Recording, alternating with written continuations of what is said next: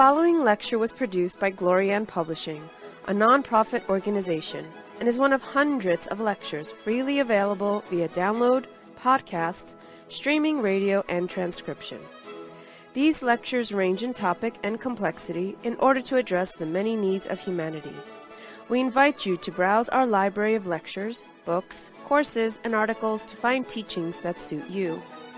Through the support of donations, Glorian Publishing has published 40 books, hosts international retreats several times a year, offers free online courses, and many other valuable resources, available to anyone worldwide. All of this has been made possible by the financial support of listeners like you. Your donations make it possible for this free public service to reach thousands of people every day. To make a tax deductible donation in any amount, even anonymously, visit GnosticTeachings.org. Now, with heartfelt wishes for the end of suffering for all creatures, we begin the lecture. May all beings be happy.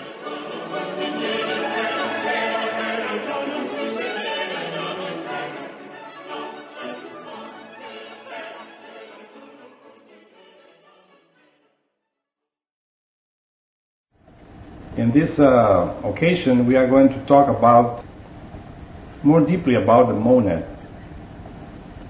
and the relationship of uh, the monad with the universe and nature.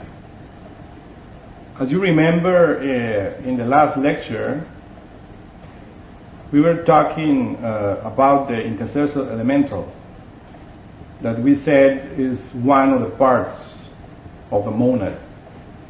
Before uh, going into the lecture, we had to give an explanation about the monad. We said that the monad is the being, the spirit, God within each one of us. It's a Greek word which means unity monas, unity. And uh, we state that the monad is a multiple perfect unity. There is a word that is utilized in Kabbalah in the Hebrew language that gives the explanation of what the monad is. And the name or the word utilized in, in Kabbalah Hebrew language is Elohim. The word Elohim is precisely that Kabbalistic name that explains the multiplicity of divinity When we read the Bible in Hebrew, we find this word in the beginning, in the book of Genesis. Unfortunately, the translators have translated this uh, uh, name as God, as a singular name. But when we go deeply in the investigation of the the roots of this name, we discover that it's a plural name and a feminine and masculine name at the same time. El, or the word Elohim, means God, the masculine aspect. And of course, we had to understand and to comprehend that this word El resides in each one of us. Every single person has his own El, his own God, as masculine aspect. But then we find the other word within the word Elohim, Eloah or Eloi, which is a feminine name, which translated into English would be goddess. And this is something very important. Because we also have to know that inside of each one of us, we have our own particular goddess, our own particular mother, divine mother. It is something that is uh, ignored always by the monotheistic religions, which are precisely, and very sad to say it, because we are talking here of this Hebrew word, because the Jews believe only in one God, and is masculine. Uh, maybe the Kabbalists that they study that, but they don't uh, spread the knowledge. But I have many Jews friends, and they always say God is male and one. So in Gnosticism, we learn that that unity, which is the monad, is of course multiple. So El, as Father, is inside of us.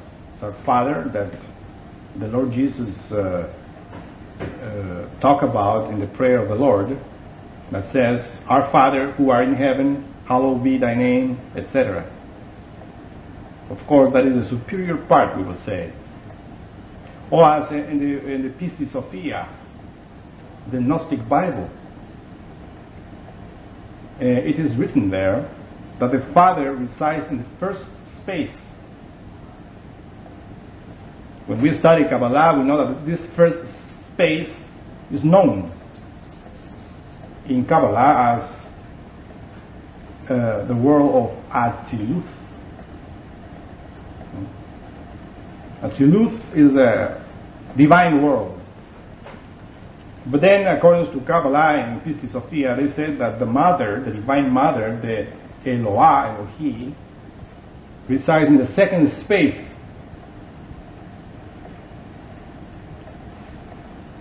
Of course, we are not going to go deeper into Kabbalah because uh, it's very uh, abstract knowledge that we had to learn with a lot of intuition in order to get. But the main thing is this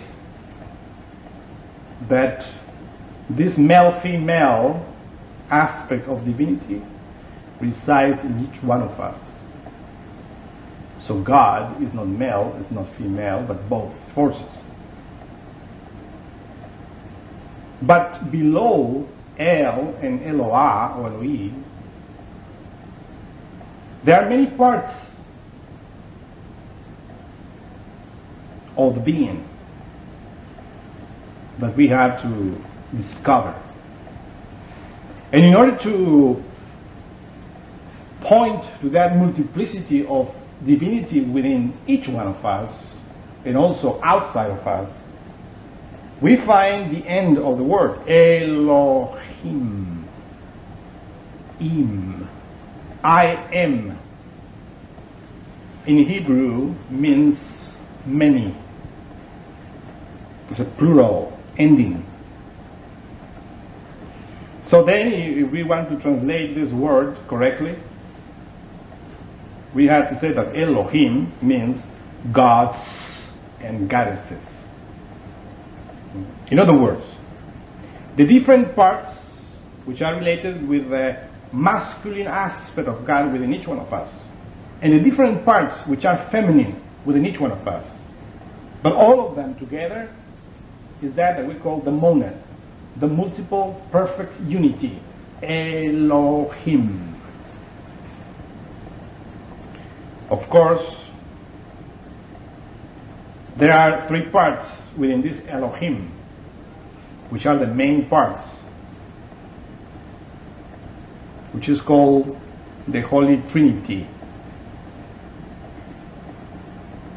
In Christianity, the Holy Trinity is called Father, Son, and Holy Spirit. But this Trinity resides within each male female part that we're talking here. This is something that we have to intuit. So, Father, Son, and Holy Spirit, as we say, wisdom, love, power is within the Father. Wisdom, love, power is within the mother. Mm. This is what we call the three primary forces that creates. As above, so below. Because in the physical body, these three parts are only manifested in the intellectual animal. Because remember that we were talking in the other lecture that there are four kingdoms in nature mineral kingdom, plant kingdom, animal kingdom, and the intellectual animal kingdom, which is wrongly called or mistakenly called humanity. Because really, from the intellectual animal, the human being comes or could come, can be created. The real human being into the image of God. That man that the, that the Bible talks about. This is something that we have to understand. Do not ever think that we the Gnostics takes or take, I mean, everybody as human beings because we are not. And it is something that is always causing a lot of trouble in the minds of people that are studying Gnosis because they sometimes do not understand because they believe themselves that they are human beings. Hmm? And I repeat, we are not human beings, we are intellectual animals. And the intellectual animal is the only creature in the four kingdoms that has three brains. The other creatures which are not intellectual, they have two brains. Uh, the motor brain, which is that brain that uh, allows the creature to move here, there, everywhere. The emotional brain, that it gives the creature, of course, the emotional aspect according to his level. And we, that we have, of course, the intellectual brain. That's the difference between the beasts, which are just instinctive, and with us, that at least we have intellect. If we take the intellect out of any intellectual animal, and then we have a gorilla, a chimpanzee, orangutan, or any other ape, and uh, very weak, because he will be in the uh, defenseless mm, against the forces of nature. Because the other creatures which are not intellectual, they have class, you know. We are just very weak, physically speaking. But we have a privilege. Only we, as intellectual animals, we have the opportunity of becoming human beings in the complete sense of the word, of becoming men. And also we had to explain as well that when we in the Gnosticism we talk about man, we are not talking about the male. Because unfortunately, uh, humanity, this humanity is utilizing many names in the wrong way. They, they say humanity or human beings and they uh, title of human being everybody. And when they said men, they point the male. Human being and man is, are synonymous. But uh, we can say male and female. But the word man comes from the Sanskrit manas, which means mind. Someone that has a manu, some, somebody that is a manu, a man that has human mind. You know what is a human mind? Or a man, in other words? is someone that whose mind is united to Hu, the spirit, the monad, in other words. Somebody whose monad, which is the Hu, is united to manas, humanas, human. That is a human. That is a man, in other words. But if we investigate the intellectual animal mistakenly called man, we don't find there that the monad expresses itself through the intellectual animal. What we find unfortunately, is that through the three brains that we have, the intellectual brain, the emotional brain, and the motor instinctive brain, which is in the spinal column, together with the sexual organs and the instinctive center, what expresses through these three brains are animal aspects of the animal kingdom, which also are incorrectly called human defects. They are not human defects. They are just properties of the animal kingdom. Lust, anger, pride, envy, vanity, gluttony, laziness, fear.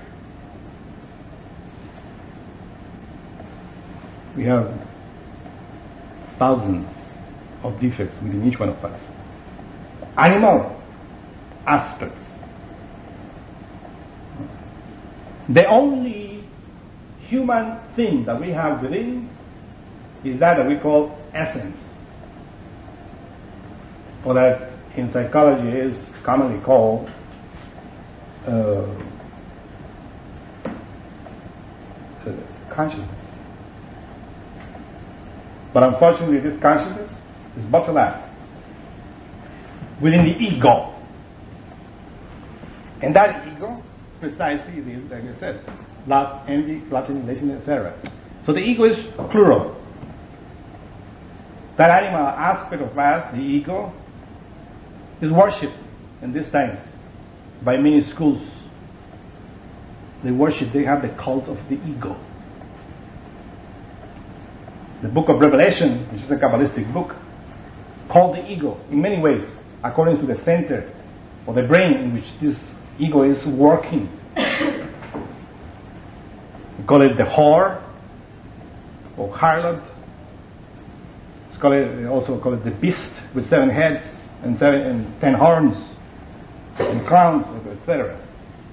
It's called in different ways, in accordance to unity, in accordance to, in, in general, with humanity. Mm. It's also called the Antichrist ego. It's called the Antichrist. So if you think that the Antichrist is somebody here that will appear, it's already here. And it's inside of each one of us. It's our beloved ego. Or as the Master Samael Aun says, that of beloved has nothing. Has nothing of beloved. It's something very uh, negative that we have within. And of course, the ego is that entity that is destroying in each one of us the possibility of the human being to be created. That's unfortunate.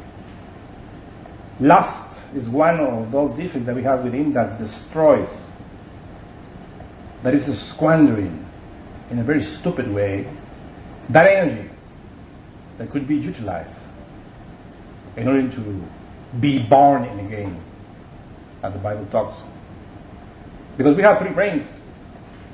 And to these three brains, the first one, which is the cerebrum spinal nervous system,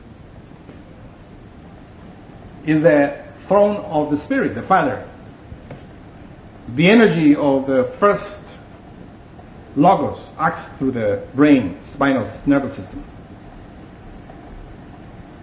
the energy of the Son, which is the second part of the monad, acts to the emotional center, the emotional brain, which we have here in this area, from the heart to the navel.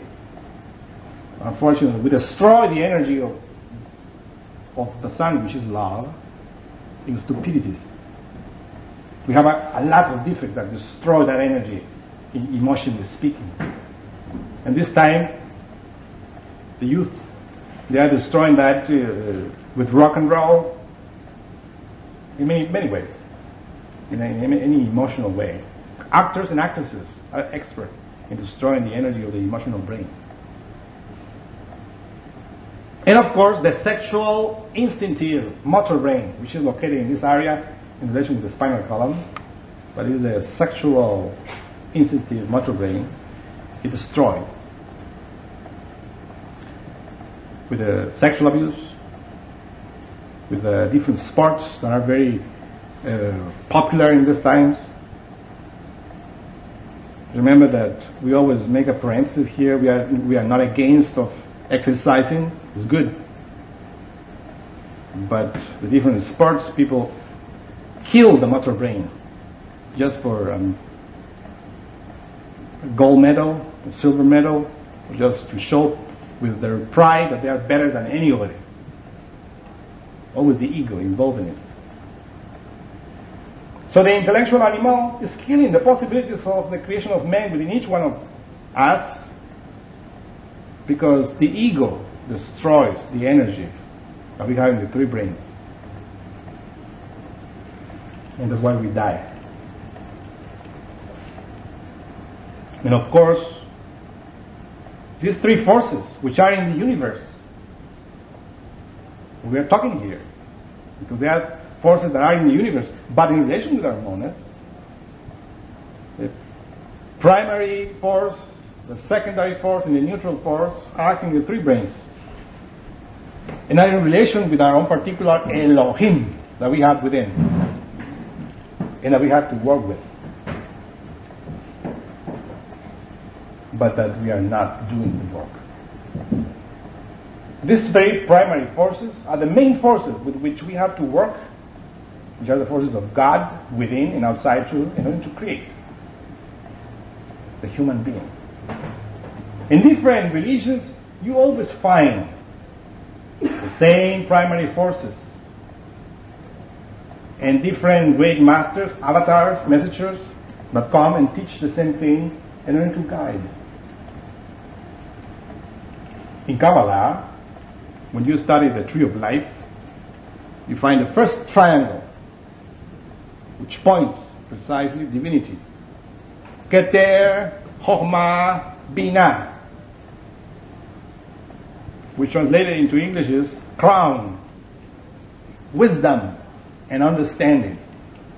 Crown, wisdom, and understanding. In India, we uh, find a very ancient religion of religion of Brahmins. And they call it the three primary forces Brahma, Vishnu, Shiva. Forces which express themselves through every single creature in the universe which has three brains.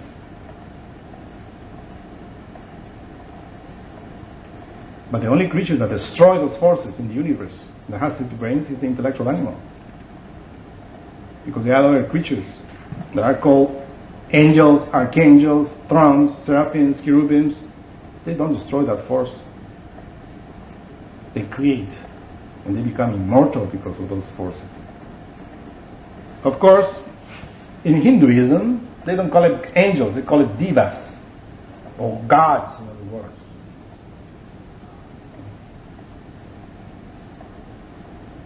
And in, in the Judaism, they call it Malachim or Malachim.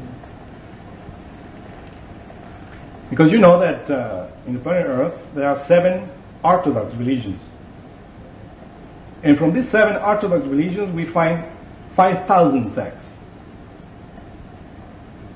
It's very rare to find somebody that understands his own religion. Usually they are fighting against other religions ignoring that all religions are coming from the same source.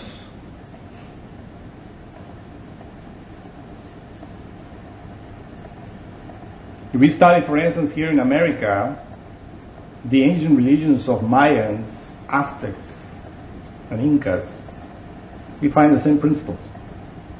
With other names, of course. In India, they were, they were uh, engraving the symbols of these three primary forces in a very beautiful way. You see statues of Brahma, another statues of Vishnu and Shiva. But in America, they were doing the same thing. but not in a beautiful way like in India or like in ancient Greece. You see the, the beautiful monuments, there are statues that you find in Greece, Roman Empire, beautiful. But here in among the Mayans, stones, very rustic stones.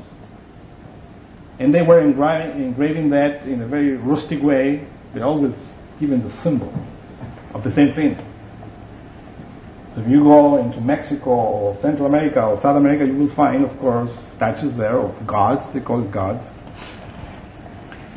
And for instance, uh, uh, Ometecuhtli among the Aztecs is the first force. But Ometecuhtli, you find uh, you will find some statues there that are not so beautiful like in India or in Greece. And you find also the second force of, of these three primary forces, which is called Quetzalcoatl. And if you can go to the pyramid of Quetzalcoatl in Mexico, you will find a serpent with feathers. Beautiful symbol of the second force. But the same thing. Because at the end, uh, those three primary forces, they have no form. But in every religion, they give different forms in order to explain. Like in Kabbalah, for instance, they are against any form. They don't make any form. But if you read the Zohar, which is a Kabbalistic book, you will see how they describe the Father, the primary force, in which beautiful way, mm, as a human being, in the complete sense of the word. We have to understand that no matter what symbol, we have to comprehend that are symbols of the three primary forces, and we don't have to mock any religion.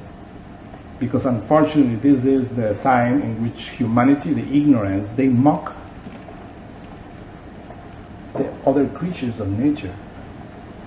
When somebody achieves the control of the three primary forces in himself or herself,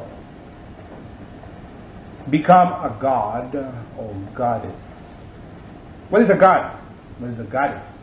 A single or an angel, in other words. Is a creature that self-realized himself, who achieved the perfection of each of the parts of his own monad. Therefore, he is capable to work with the forces of the universe.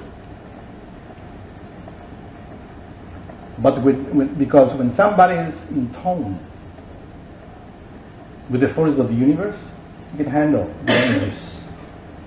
He can handle the energies very well. Controls everything. Therefore, we have to understand that not all the creatures with three brains in the universe are so degenerated like us. Even though uh, still in this time, uh, this, let us call it this humanity, think that they are on top of everything. Just because technologically speaking, the inventions of the intellectual mind are hypnotizing humanity, but in reality, we are not on top. Psychologically speaking, and even physically speaking, we are below of many creatures which are not intellectual. A lion, for instance, is almighty in front of any one of us. Even with all the our intellect and all the pride that we can show about uh, any any one of us in front of a lion in one room. A real human being is capable of controlling many lions, not only one, because a human being is above the lion. Read the book of uh, Bible Daniel, and you will see how Daniel, who is a real human being, was there in, in the den with many lions. Because he was a human being, a self-realized being. So any ego is above any one of us.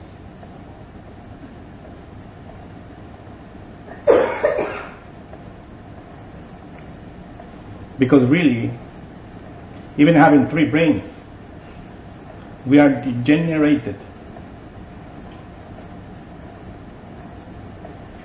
And the purpose of this doctrine is to regenerate, but we have to understand that the regeneration of each one of us, in order to achieve the goal of becoming human beings, is by taking advantage of the three brains. Because only Father, Son, and Holy Spirit creates. Only Brahma, Vishnu, Shiva creates. There's no way to achieve the self-realization of the being if we don't take advantage of the three brains. And the main force that can transform us is the sexual motor instinctive brain. If we are destroying the three brains in stupidities, we are not going to achieve the self-realization of the being. In other words, our monad will not succeed to express itself through each one of us.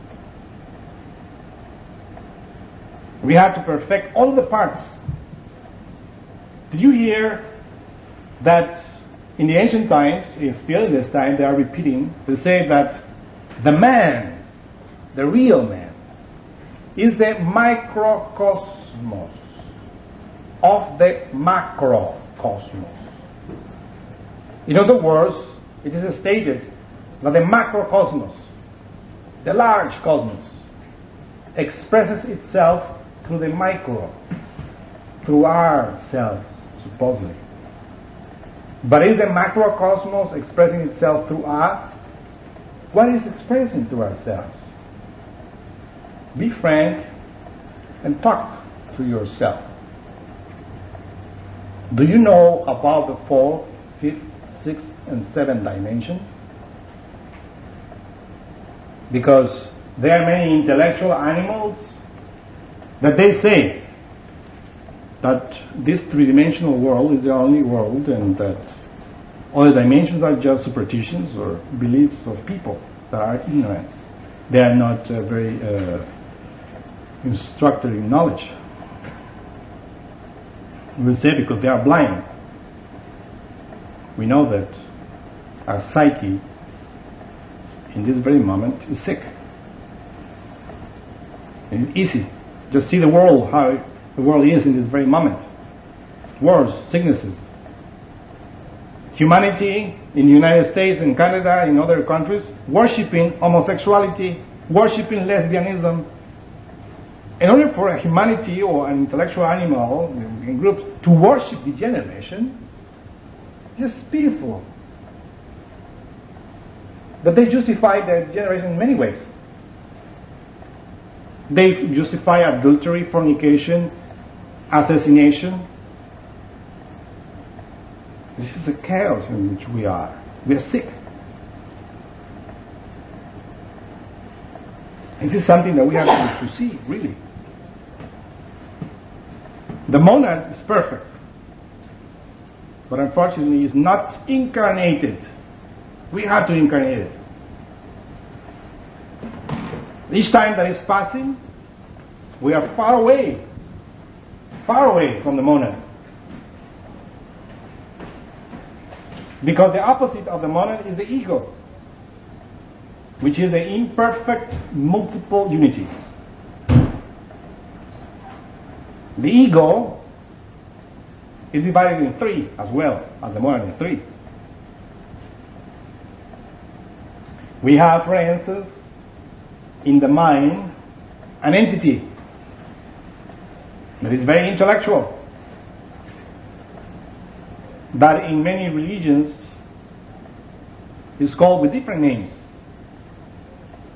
In the ancient Egypt, this entity in the mind very intellectual and wise, was called Hai. And Moses represented this demon Hai, demon of the mind, in his book The Exodus. And he plays this demon as a Pharaoh. But that's Moses. Because if we investigate uh, in the w- wisdom of Egypt, uh, the symbol of a Pharaoh is different. But because Moses was establishing a new religion in his time, of course, he was taking many symbols and destroying others in order to establish his own religion, with his own doctrine. And he plays uh, the Pharaoh there, and he has to fight it. The, the, the demon Hai, it's called, in the ancient Egypt, resides in the mind. In the Gospels, the four uh, writers of the Gospels, they put this demon Hai as Pilate, the one that is washing his hands and sending Jesus to the cross. But this Pilate or Hai is always in our mind.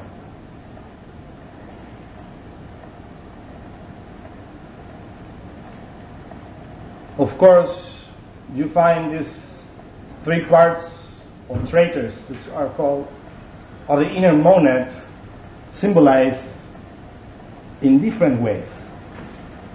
If you ever read the Popol Vuh, the book of the Mayans, it's very uh, uh, beautiful to find there uh, the symbol, the three demons as well, three entities that everyone has inside in different ways.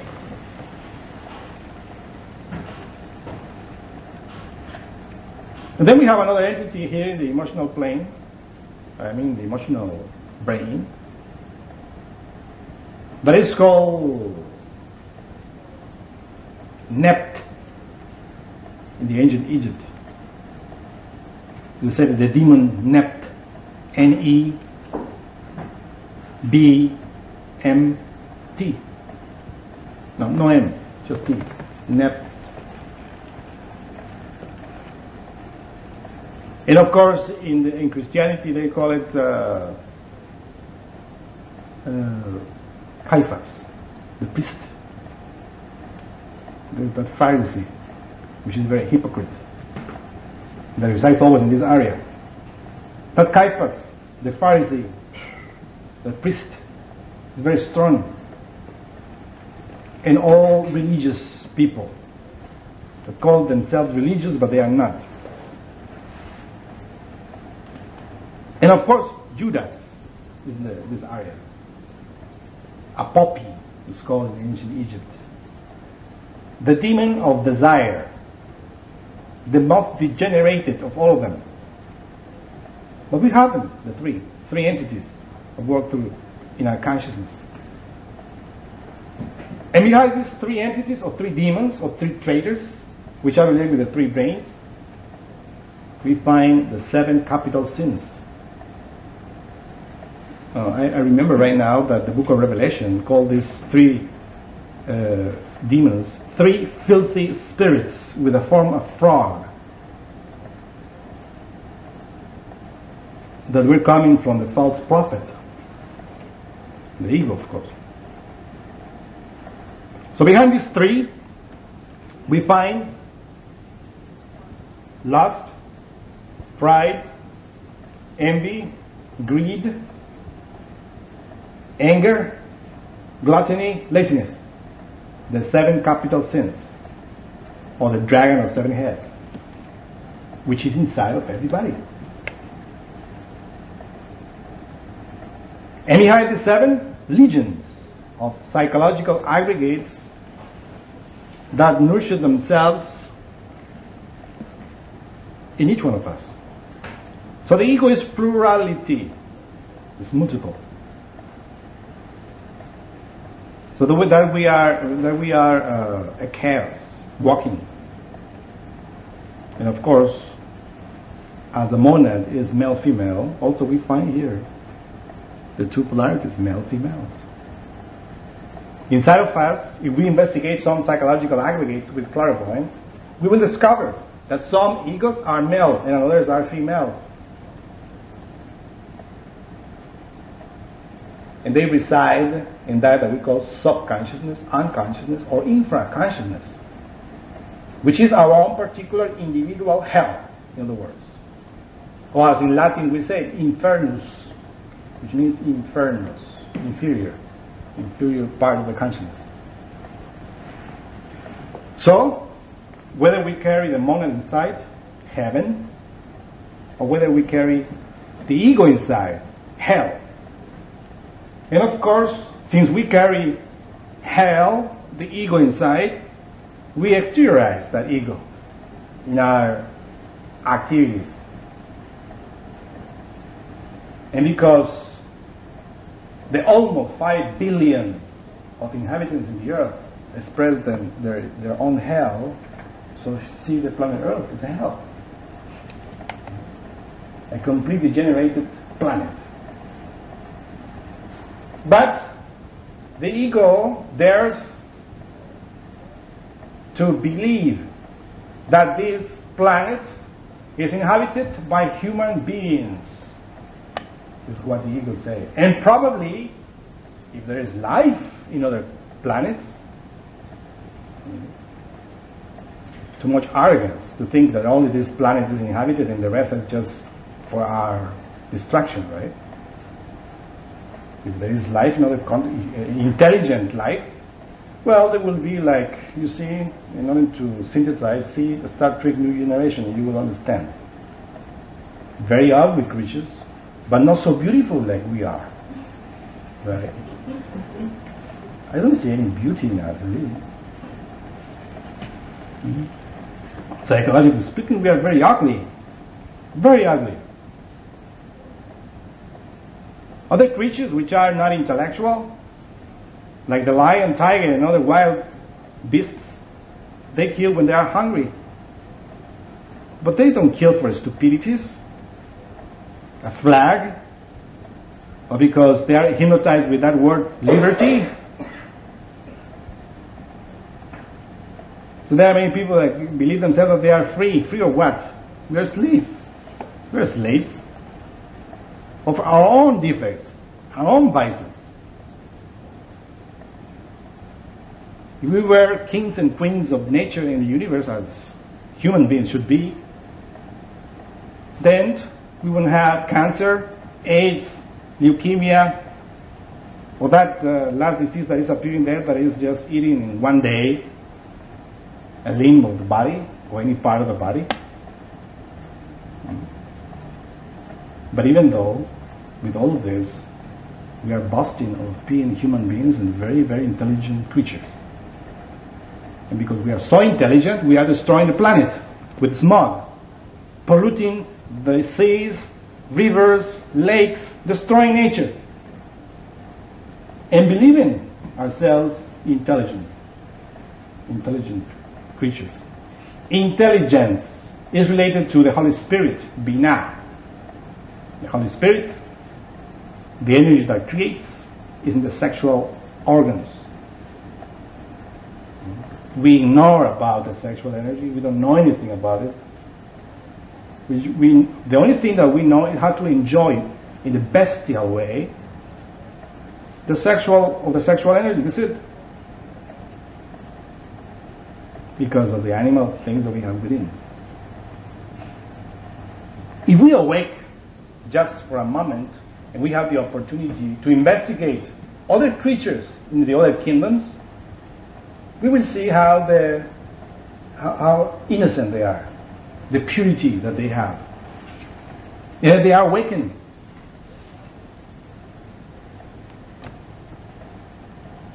You see that uh, the so-called elementals of nature, or the creatures of other kingdoms, like animals, plants, and minerals, they are more, of course, in tone, in union with nature. Therefore, they are enjoying Eden, in other words, the paradise. Eden is a state of consciousness in which the being, the soul, is united with the spirit, is united with Elohim. When the soul, which is the lowest of all the parts, in other words, we are the lowest of all the parts of Elohim. But we are bottled up into the ego, unfortunately. But an animal, when you see an animal like a cat, a fox, they act only instinctively. But they are united with the monad in communion. And they enjoy nature.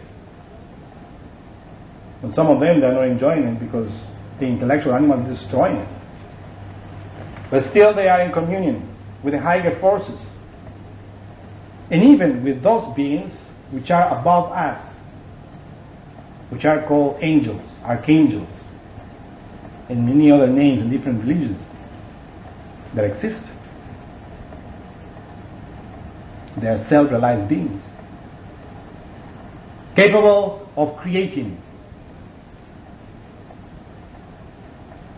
more com- complex elements or units in the universe.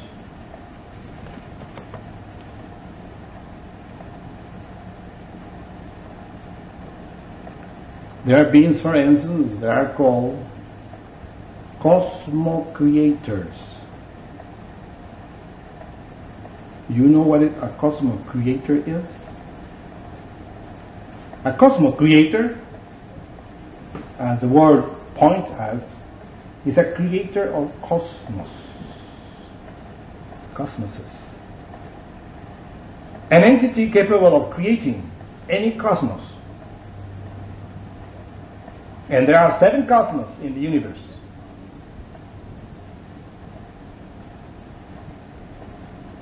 The tritocosmos, which is the lowest of all the cosmos, which is called in, uh, in English hell, is the tritocosmos, hell, is the lowest of all the cosmos. Is in which we are right now. Is what we are creating, hell. But above this hell is the microcosmos.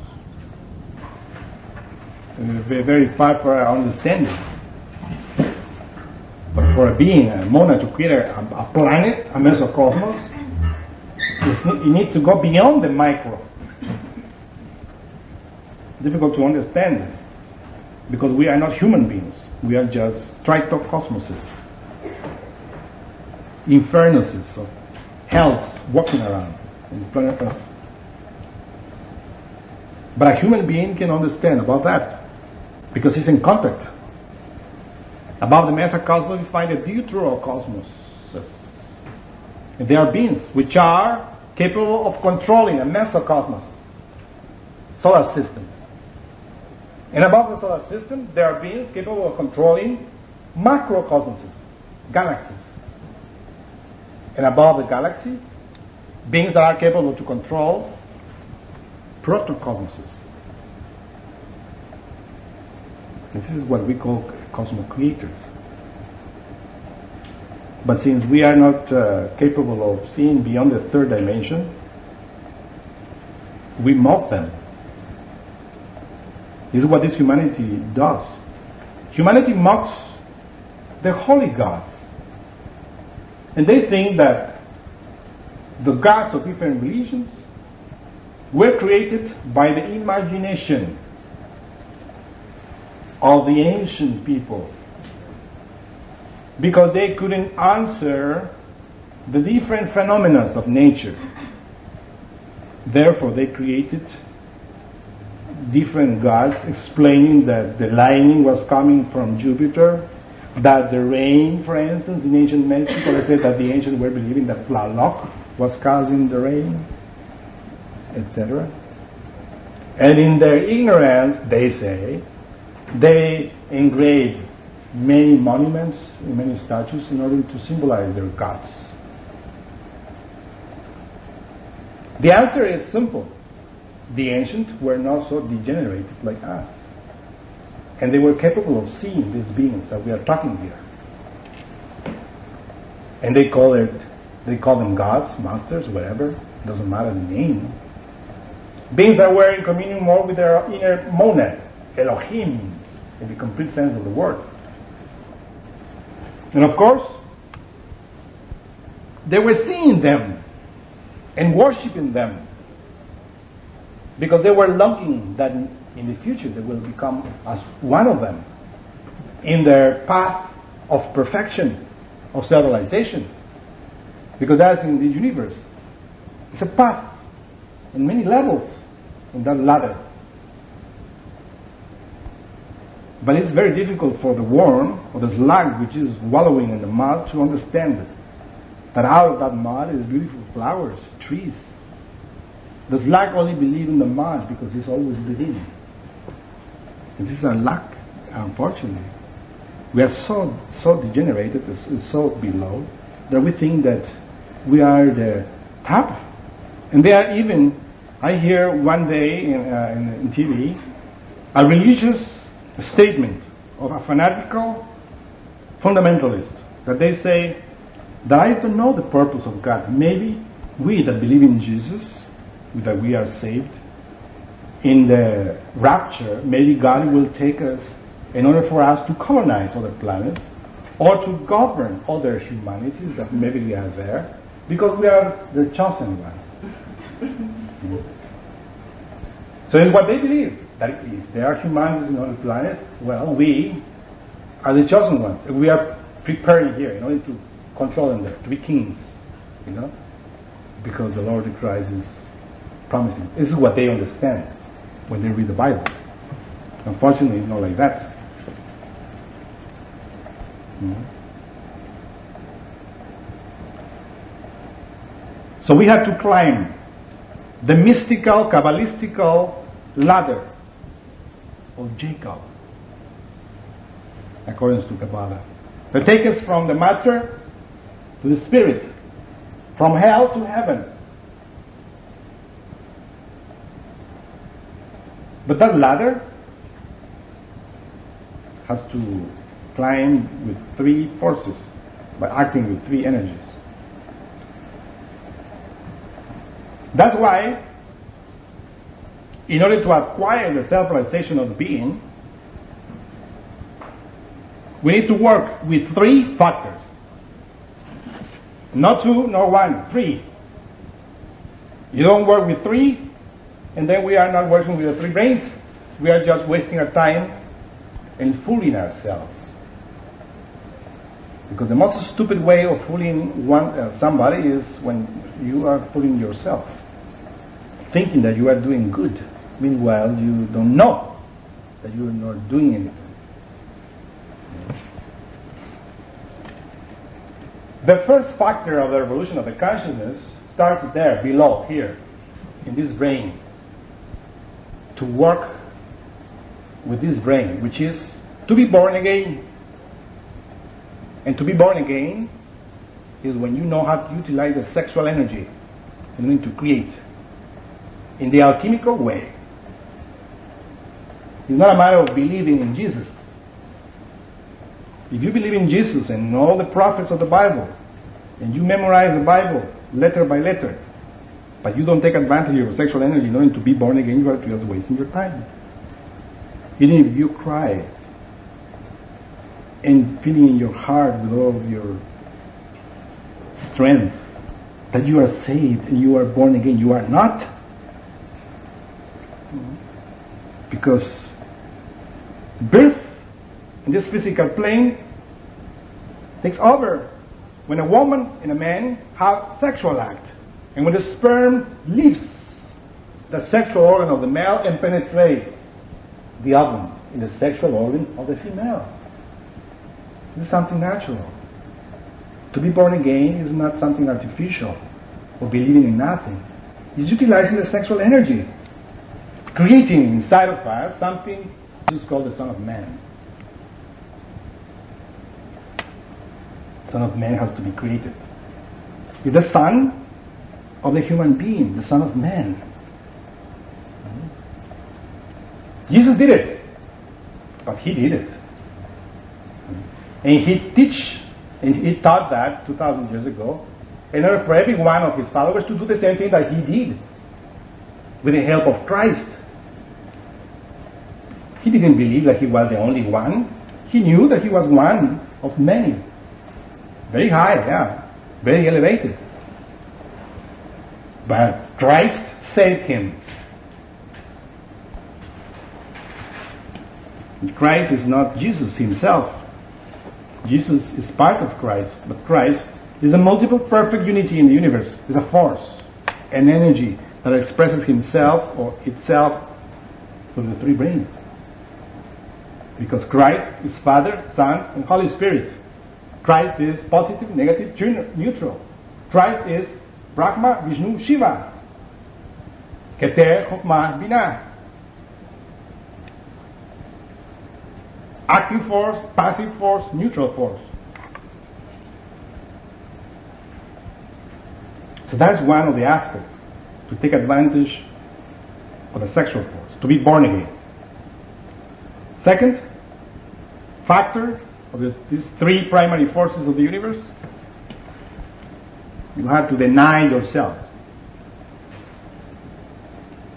In order for the energy or, or the force of that beautiful energy, which is called the sun, the second aspect of Christ, to crystallize in each one of us, to deny yourself, to deny that that you think you are to deny your lust, to deny your envy, your greed, your gluttony, all that. But not just denying it as many superficial people do. They say, I don't sing anymore, therefore I'm a virtue person. Virtuous, in other words. Right? They call virtues to be tired of sinning. Hmm? That is not a virtue. And somebody, for instance, is drunk and stopped drinking, now he believes to be a virtuous because he doesn't drink anymore. But the ego, the entity that was pushing him to drink, is still there. So where's the virtue? Somebody was tired of fornicating. Oh, now they believe themselves that they are chaste. They're not chaste. Hmm? We have to annihilate lust in the three brains, in all the 49 levels of the mind, in order to become really without virtue, which is chastity. And some people call chaste person if, if this person has no sexual activity. That's just abstinence. It's not chastity. To be abstinent, abstinent how you call abstinent? Abstinent is easy. Everybody can do it. All the priests of the Catholic Church do it. But they are not chaste, they are just abstinent in celibacy. Like many monks in Buddhism that takes Buddhism in the wrong way, they are also, also celibate. But they are not chaste. Chaste person is somebody that is in chastity in all of the levels of the mind.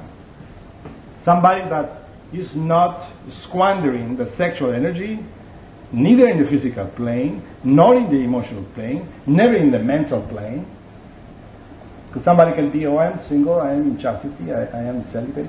Meanwhile, he's going to and reading pornographic magazines, or having lustful conversations, or having wet dreams.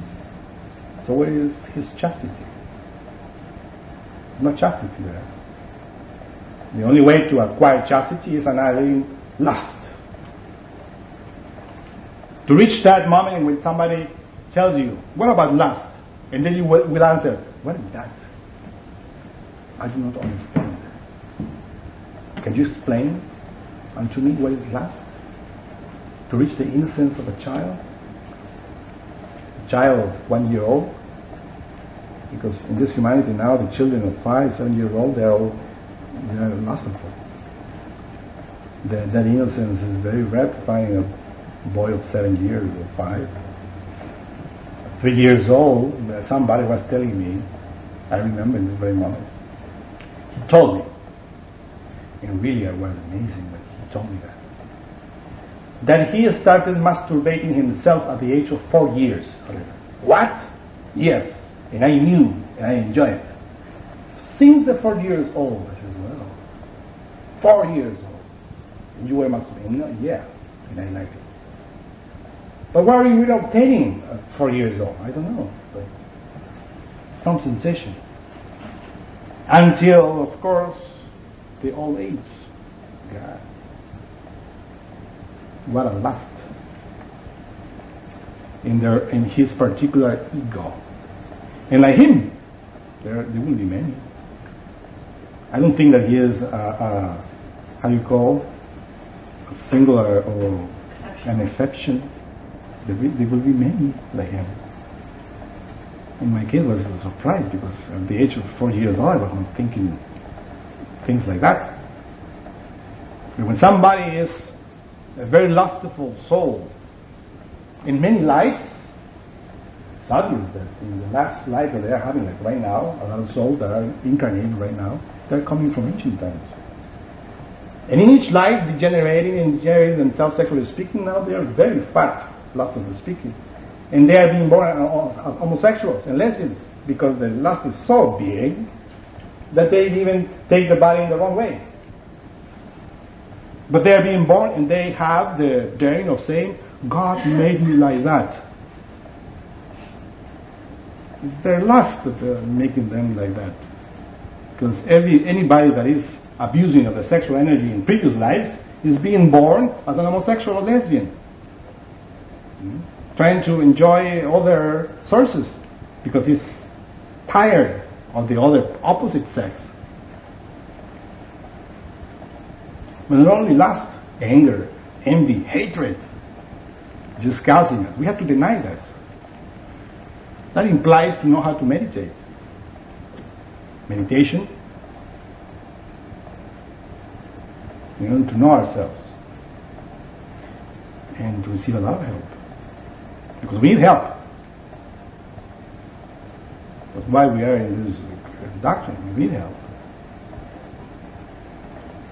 And of course, because we need help, we give help. Because this is a law in the universe. If you want knowledge, you want to be helped, but you don't help, and then you are not working in accordance with the, with the first law of the Father, which is the law of the self-struggle, auto-egocratic cosmic common. To give and to receive in harmonious way. Hmm? In the beginning, of course, we start in the selfish way. We give because we know that we have to receive.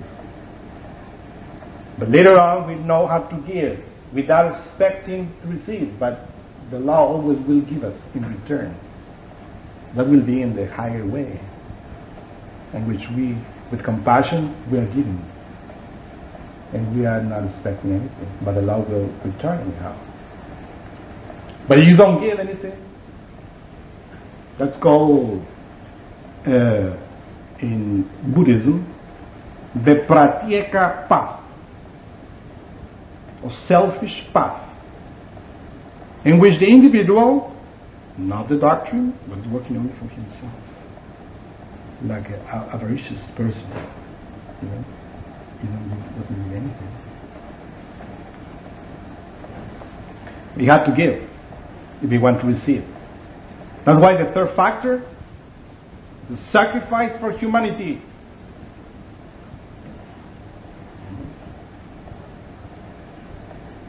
Sacrifice for humanity means to do the sacred work for humanity. For that human thing which is inside of each person. Not for the ego.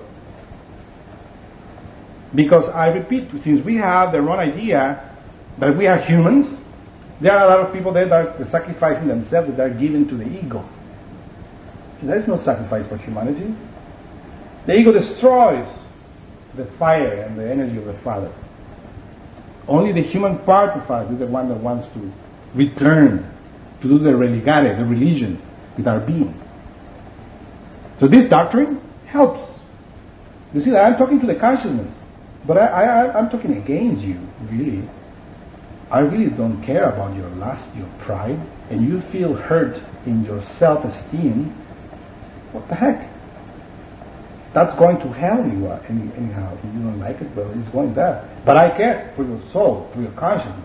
It has nothing to do with your self-esteem, with your pride, with your vanity, with your laziness, gluttony, lust, anger, and all of that bunch of garbage that we have inside. Because I have that too.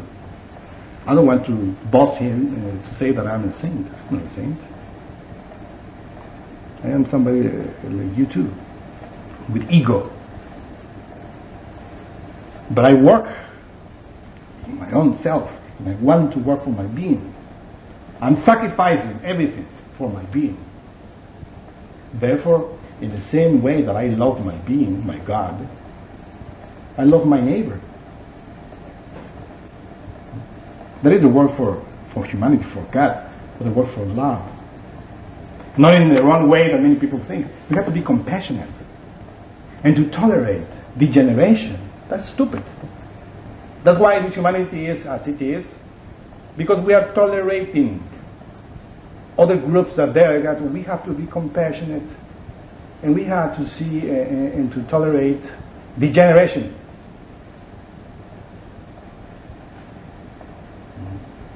That's uh, very, we call uh, backward psychology, going the wrong way. So every one of us has something to give. Something to give. But remember, that that you want to give has to be always for the consciousness, for the human part, for that essence which is pure, for the inner child. And then you will receive in return also for the higher forces. But you start giving for your for the ego of other people, you they will return to you for your own ego too. And then you are working not for your being, for, for your ego. And then you all want to uh, to have a cult. The cult for the ego is what right now is everywhere. They have a cult for the ego, but not for the being. In order to have service to the being, you have to hate yourself. That self that you love too much, which is your ego. Hmm? That is to deny yourself. And as Jesus says, take your cross or follow me. You see? You want to see an example of somebody that is sacrificing himself only for the human part? Read the gospel. And Jesus is an example. He's never worshipping any weakness of anybody. It's always against the ego. Taking the demons out of the people. So we love our demons. We don't want to we don't want to hear anybody here saying that we are demons and we have devils inside. Right? We want to be in heaven with all the demons that we have inside. In other words, religions in this time, they promise to their followers to put their hell in heaven after death. We don't promise that here. We have to destroy hell in order to be in heaven. Whether we are in heaven or in hell in the physical body or out of the physical body. This is what we want to conquer heaven here, in this physical plane, which means to incarnate the monad, to perfect all the parts of the monad, the self-realization of being inside of each one of us. And you said before the cerebral spinal is the throne of the Father, the emotional brain is the energy of the Son. What was the other one? And, well, the, the emotional brain, which is called the grand sympathetic nervous system, is a, is the seat of the Son, of that energy which is called the Son. And the parasympathetic, it's also called vagus nervous system, is, uh, is uh, the chair of the Holy Spirit, the sexual organs. You said being born again is um, creating the Son of Man. Is there? How would you distinguish between the Son of Man and the Son of God as termed in the Bible? It's the same thing. Son of God and Son of Man is. Uh, but we have to understand uh, two things. The Son of God, which is Christ, is that energy which is in the universe, diluted in the universe. The first emanation of the unknown, that light, resides in the center of every atom, every galaxy, every solar system, every planet. Is the light, Son of God. But when that energy, which is Christ, which is called the Son of God, humanizes in every single creature and then becomes the Son of Man. When that Son of God is entering, for instance, in, is incarnated in our body, Son of, Son of Man. That's why Jesus Christ is called the Son of Man, has power because Christ was within him as the Son of Man. But this Son of Man was also within Moses, Moses was having his own son of man inside. Krishna is a son of man too. But because the son of man is the same Christ, humanized, is the same essence of the universal Christ. So if we call the son of man the son of God, the same. Son of God, son of man is Jesus, is Moses, is Krishna, is Babaji, is Rama, is uh, Mohammed. And every single three-brain creature that incarnate the three forces. And the three traders, you've got Nebt is Caiaphas, Apopi is Judas, and the third one? Uh, Judas. Judas A poppy is Judas. Apopi is Judas. Right. Hai is Pilate. Pilate.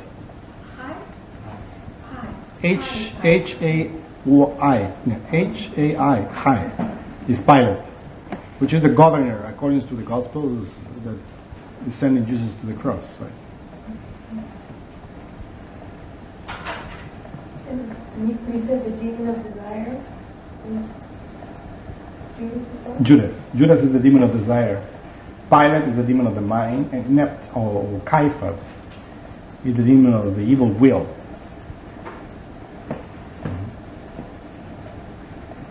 Or self-willed demon. Well, these three demons are inside of each one of us. Hmm?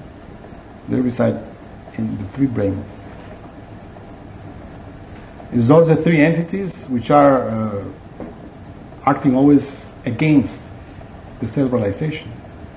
They destroy the energy because every single day, when we fall asleep and when we eat too, the three brains are charged. So which is And the demon of the mind is, char- in charge, is in charge of destroying the energy of the mind. which is which? Judas is the mind, so that's the third. No, no, no. Judas is possessing the sex.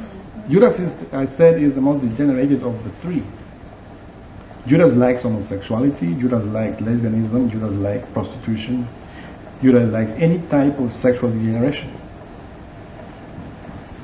And Caiaphas is the Caiaphas is in the heart in this area, and he's a hypocrite.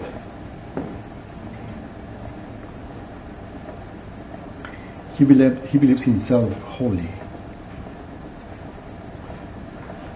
So that's mean being receptive. Hmm? The receptive of your own tongue, being holy, like, like Caiaphas. Yeah, this, this represents that type of ego that we have, that we believe that, There you go. that we are holy because we belong to this type of religion this that, right? That's why in this in this doctrine, when you enter here, you do not expect to find any holy person. We are not holy. Every single person has ego here, and we know that. But in other groups, they ignore about that. They think that they are holy because they are believing in something. So they are strengthening that part of the, the ego in this area of the heart, which is called the hypocrite Pharisee. Right? Believe themselves holy, meanwhile they are full of garbage inside. But to recognize that is important. Because always when, when in, in this area when we feel ourselves more, you know, you said, me, myself, I, and then you point that. Okay? What I feel is that, you know, most of the time we feel in the wrong way. And of course here, in the mind, is that demon that washes his hand with justifications. Oh, I did it because, you know, I, I, I, maybe tomorrow I will do it. But now I don't think so. It's, you have a justification of not doing the work of his inner being, any, any, any justification will come always from the mind. All the, I have too much work to do. All the difficulties, you know, I tried, but right? Or about meditation. Oh, no, it's very difficult. Every time that I meditate, it's very complicated, so forget it. So always you find a justification for not doing what you have to do. Behind these, um, the three demons of desire, the mind, and the will, do we have um, the seven capital sins behind each three, and behind those seven capital, 49 levels of the mind in three different places? Yeah. Wow. How do you suggest to meditate? By what methods? What? By what methods do you suggest to meditate? Or practice? Meditation is, of course, the way in which you have to discover the facts, right? The true, the truth inside. Firsthand. Yeah. So you have to know how to relax your body, and of course, to concentrate in that particular part of yourself that you want to comprehend. Remember that you have many parts. So different methods for different parts. Well, the same method, always, same method. But you cannot comprehend all the parts of yourself in one session. So you have to have the patience of comprehending each part of yourself in every day. could you describe the method which you feel is effective? For instance, uh, capture, comprehension, annihilation. Capture. I explained that all the defects, vices, and errors express themselves through the three brains. So you have to observe the three brains. The 24 hours of the day. Or at least 16 hours, I don't know how many hours you sleep, right? That you are aware, you have to observe. And in order to observe yourself, you have to remember your inner God, your inner being, the positive part of you, which is God, and to pray. There are many ways of praying. Right? Depends what religion do you have. There are many prayers that, for instance, Christianity, the prayer of the Lord, or in, in, in, in Hinduism, it's a very simple way, just Om, Om, Om, and you remember. You remember your inner being. And at the same time, you observe. Observe what? Any difficult will act. Because if somebody comes and insults you, and then the anger will come. And then you have to be in a state of alertness in order to see which brain is going to act that anger. In your intellect, by justifying it, in your emotional, by exploding, right, like an atomic bomb, or kicking, utilizing your your motor center, and even even punching the face of the other one, right? Always acts in any of the three brains. But when it takes one brain, immediately takes the other two. This is what you have to understand. It doesn't matter which brain is acting in the first time, in the first moment, but after that takes the other two and acts with the three brains. You see? And of course, if you are that in that way, then you have material for meditation.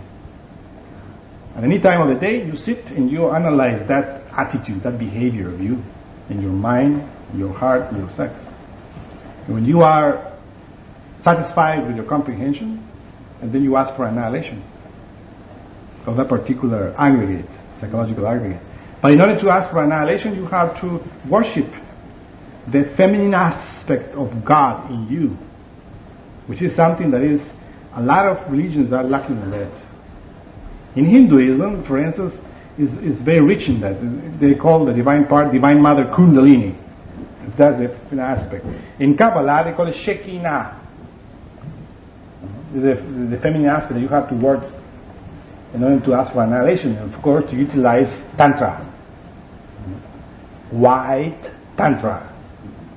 Not that black Tantra, you find bookstores, written by Rajneesh and many other black magicians that are teaching black Tantra, which is just the joint of lust. Mhm. White Tantra is different. It's very difficult to find a book of white Tantra. Can we recommend it? We have one, but we don't have copies right now. It's called The Perfect Matrimony. Here we have all the books. But outside in the bookstores, I, I found only black Tantra and gray Tantra. Mhm. Unfortunately. And that's the way in order to annihilate, right? The meditation has to be daily, And, and never ending. never ending, because the daily bread of the wise is meditation. But you have to know yourself. And the only way in order to know yourself is through meditation. First, you know hell. And then, after that, heaven. There are a lot of people that wants to enter and they say, I want to experience heaven, heaven. Meanwhile, hell is very large. So I'm sorry, but if you want to experience heaven, you have to annihilate a lot of your hell. So if you do not um, practice um, you sexual energy like um, the priests and the monks and who go to celibacy then. So if we don't have um, transmuted sexual energy, that's part of the house term, the sexual energy. that we were talking about. Yeah, for celibacy? Yeah. Yeah. Celibacy is good for those people that know how to sublimate the sexual energy, Mm. being single. In order to prepare, because we have to prepare ourselves in order to find the real, the, the real mate, the right mate. But it's not the mate there, so don't jump immediately, because you can take the wrong mate, right? So just practice as a single, as a single. When you find a mate, and then the tantra. But that mate has to be mm, uh, not just for a while, like it's, it's now is very common in those times, right? That uh, people change mates like changing underwear, right? And in this world, we have to be serious. Unless the underwear is old, well, dead, well, it's okay, right? But uh, because this is serious work, and we are working with energies. It's very serious. It's not just to be here, there, and everywhere, right? Because then we are not. We are just wasting time too.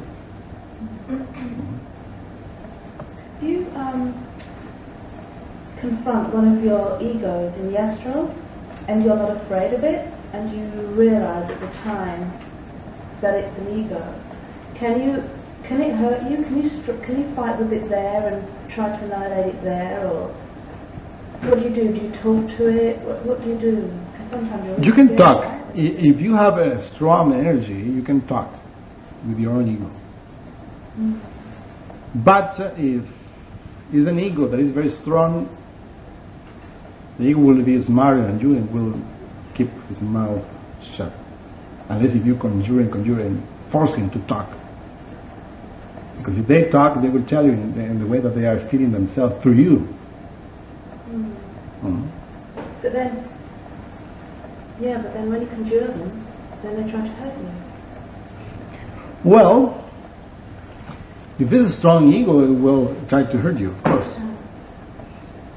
It will be you hurting you. Right? Like, uh, I remember one day, for instance, I was in the astral plane, and I was having difficulties with a certain ego. Mhm. And then I uh, concentrated myself in my inner mother, and I told her, My divine mother, please invoke me, my such such ego. I want to talk with this ego of mine. And of course, my divine mother brought my psychological defect in front of me. And in the beginning, I was, you know, very surprised because I was observing him, the ego in front of me. It was exactly like me. Hmm. You see, exactly like me. No difference. Like watching myself in front of a mirror. When the only difference that he was having very red eyes, very red, like umbers, you know. And then I told the ego, I invoke you in order to, for you to tell me in which way are you feeling yourself through me. And then the creature of the beast, which was myself, was attacking me. It was with a lot of anger, throwing myself against me, itself against me. And uh, when I was a teenager, I was learning karate and judo. You know. Somehow it was funny because I was uh, taking advantage of that knowledge in the astral plane, and I was taking him because I didn't want I didn't want to conjure him, because I know that if I conjure this ego, it will flee away. So I was taking him and doing certain movement of judo, and putting him in another place. I said, "Don't fight, because I don't want to hurt you. You, I want you to tell me in which way are you feeling yourself through me."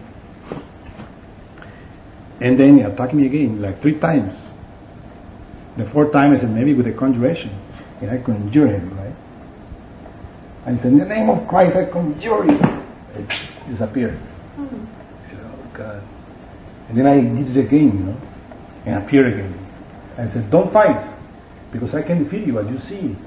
Just tell me in which way are you feeling yourself. I command you to do it. It was my own ego, you know. and he was always shut up.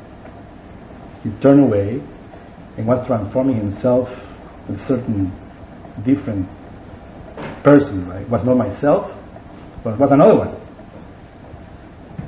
And somehow I was discovering that the ego has the ability of transforming himself in the way that they want in order to take advantage of you when you are dreaming. But did you know the, the, the, person that he kept trying, did you recognize these different shapes that he was taking as people that you No. know? It was somebody that I didn't know. And he was just walking away, and then I just give up. I said, I mean, this this guy, he knows that he he talks is his death. Mhm. Because you take advantage of that, and you comprehend more, right? And when it's the ego, but sometimes when the ego is uh, not uh, too strong, they can talk. They may tell you. And there are many, because we have many psychological aggregates.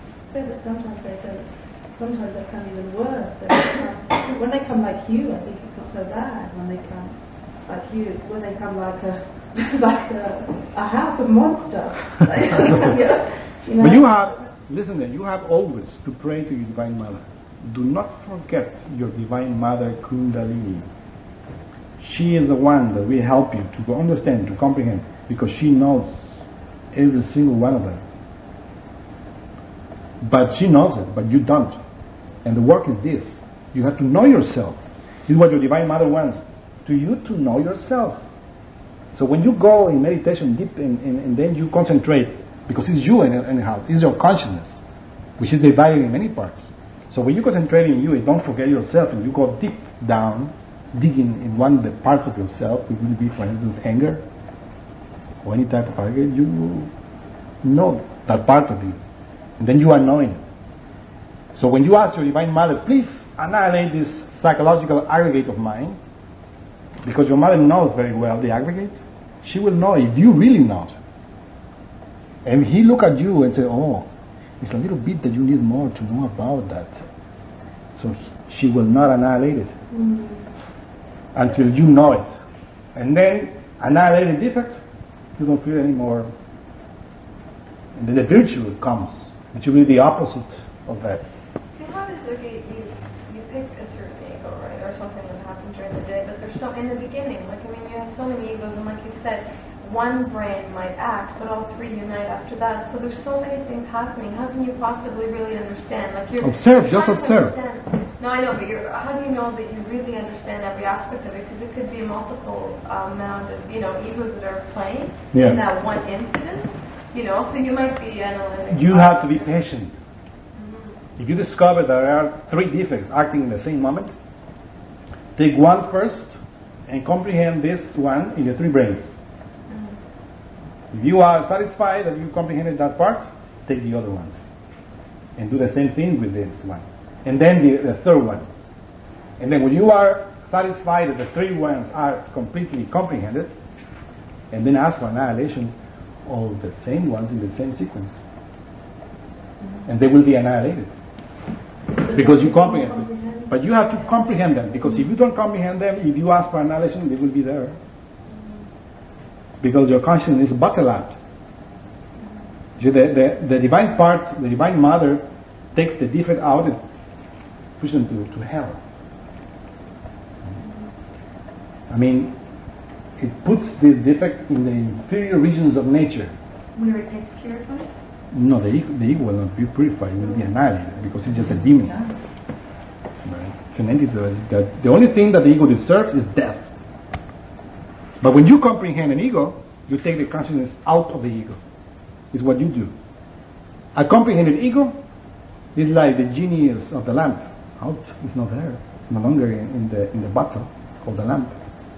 And then your divine mother comes and kills the lamp or, or the or the bottle. Hmm? But if you said, I comprehended this, meanwhile the genie is inside of the bottle, so your divine mother is not going to kill the bottle because then you will kill the genie too as part of you. So comprehension takes the genie out. So it's only an empty shell that gets. Yeah, the empty shell, but even though that empty shell doesn't want to die, and will act through you as a tempting demon. Know, if to force you to repeat the sin that was causing it to be.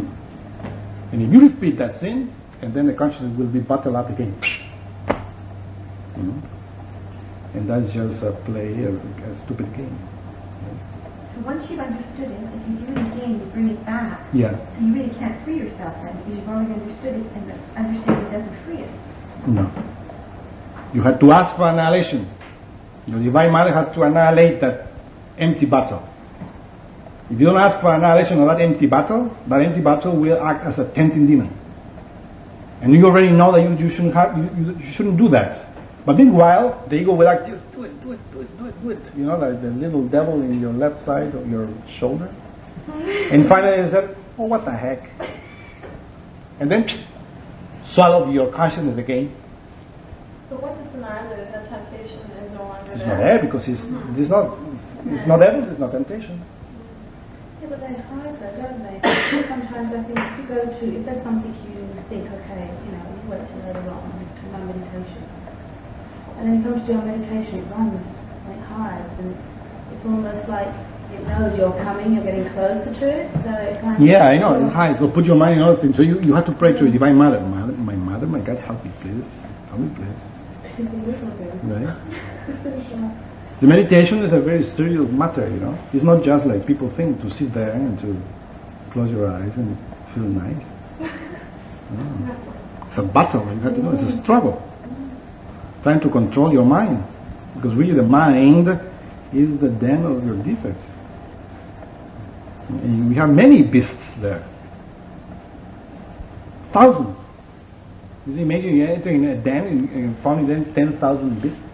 And you have to kill, and all of them are part of you. It's in the word too, mind, mind. My, yeah. You know what? For instance, in the Bible, you talk that there are many types of uh, levels in initiation. Shaul, the king Shaul, Saul, killed thousand, but David, his ten thousand. So Saul, uh, the king Saul, reached certain level, you know, in the annihilation. But David came and he annihilated more. So he was bigger than him.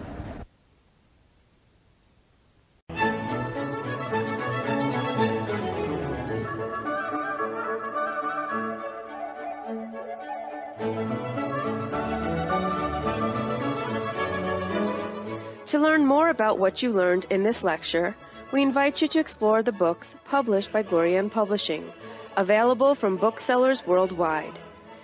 You may also be interested in online courses or upcoming retreats, all of which you can learn about at GnosticTeachings.org. All of this has been made possible by the financial support of listeners like you. Will you help others to benefit from this knowledge? Most spiritual schools recommend a donation of 10 to $20 per lecture.